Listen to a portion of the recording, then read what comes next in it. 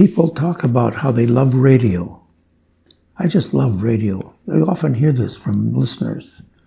I don't hear them say, I just love television somehow. Because they're making a connection, because they create the image of who is talking. So they have an investment in what's being said in a way.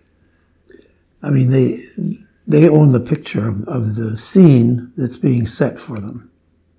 The voice is so important. You can just focus on that and it gets to your heart, you know.